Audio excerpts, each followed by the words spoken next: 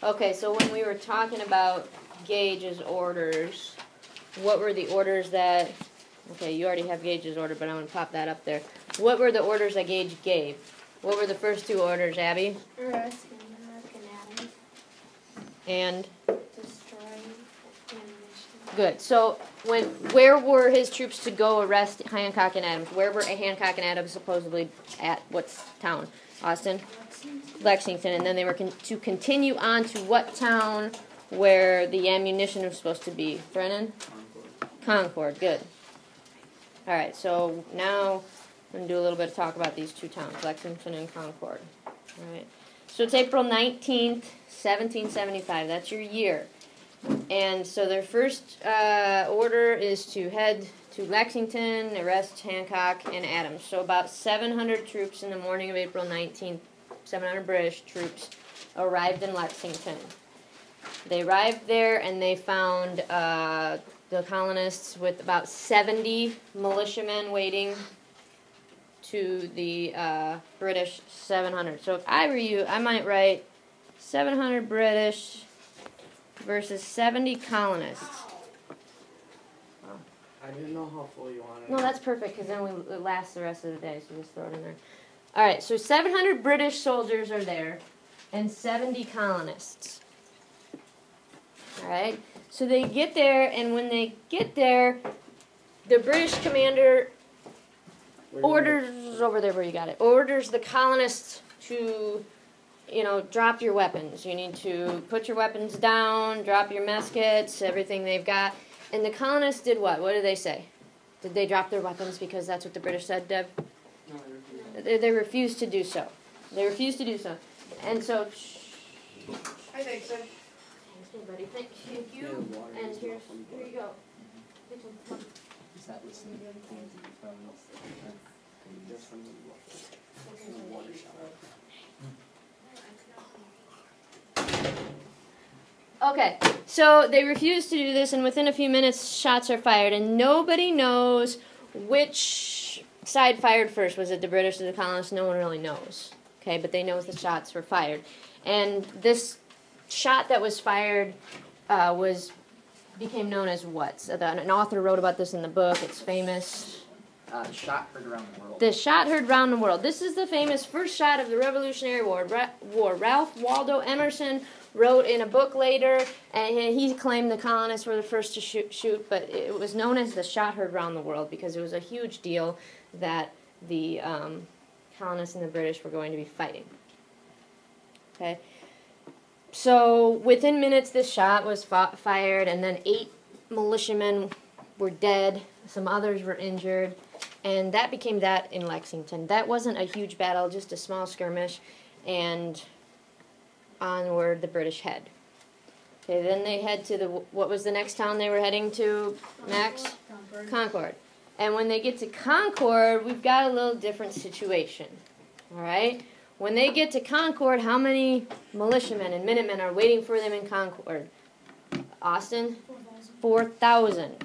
So you 4,000 militiamen and minutemen to the 700 British. So now the British are outnumbered.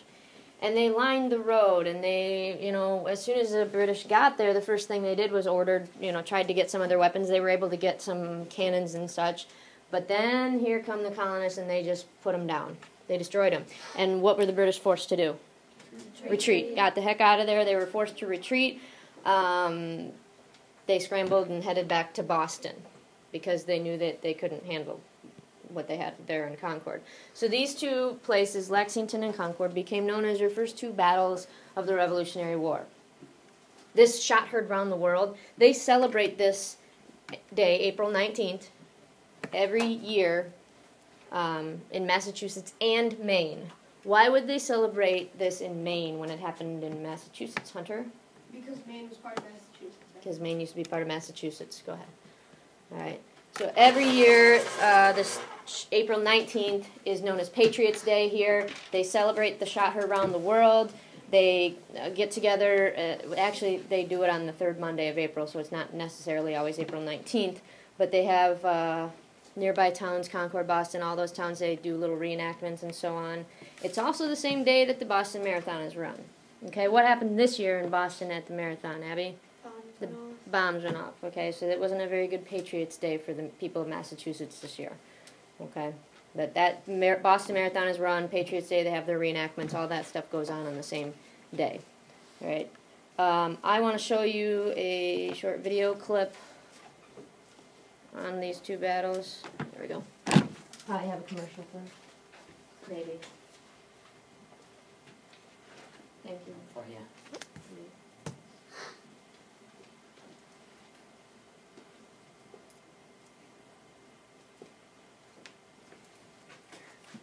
Let's do a wake up call. Let's mute the commercial. A little loud. That took a little while to go to your locker, huh?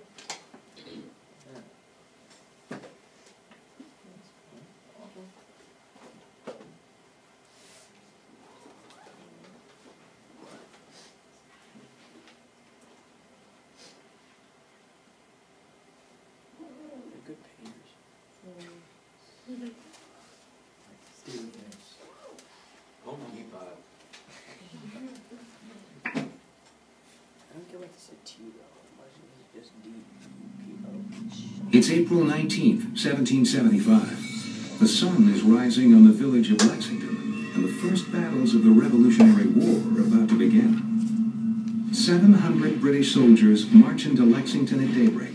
They're on their way to Concord with orders to confiscate hidden weapons. Waiting in a tavern for the British are 77 colonial militiamen, a group of untrained soldiers. We're talking about a bunch of farmers, very, very part-time soldiers, and they're facing these impressive-looking ranks of red-coated British soldiers. The colonists aren't surprised to see the British.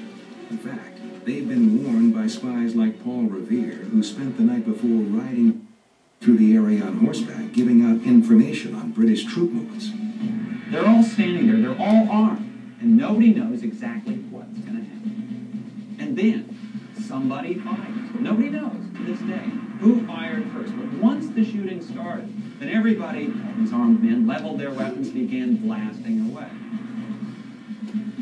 Eight colonists fall dead or dying, ten more wounded. The victorious British regroup and begin marching towards Concord. In nearby Concord, the British discover the weapons they're looking for, three massive cannons, and smash them. But the colonists confront them on a bridge just outside of town. Battle erupts. Dozens die on both sides, but here the colonists defeat the British, who retreat back towards Boston. The colonists can't believe they've won. At the time, nobody realized what the significance of this skirmish was. It was Americans against British on this one morning. But it turned out that this skirmish was the first battle of the American Revolutionary War. It was the first step toward American independence.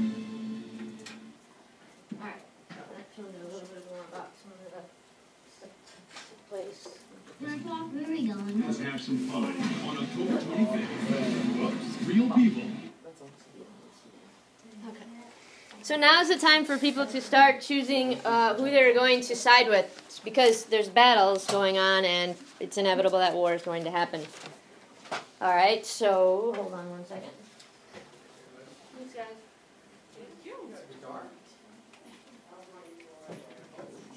So, so if someone was going to be siding with the British and remaining loyal to the British thro- throne and fighting with them, what would they be known as?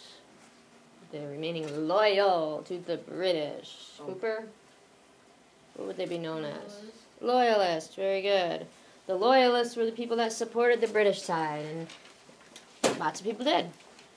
If you were a re- rebel and siding with the colonists and choosing to fight with the colonists, or not fight but at least support that side, who what were you, Keegan? You were a patriot. Well, this started to divide the families and divide communities and friends and things like that because just because you were in the same family didn't mean that you all chose the same side. Benjamin Franklin chose to be a patriot, a rebel. His son chose to remain loyal to Britain. And if you think about it, that's a big deal back then. And that was that it for them. They no longer probably communicated because they were supporting different sides in this whole situation. Lots of families were like that. If you believed one thing, you, you're going to support one side or the other. So it really divided up a lot of people because of who you were supporting. And it became very difficult.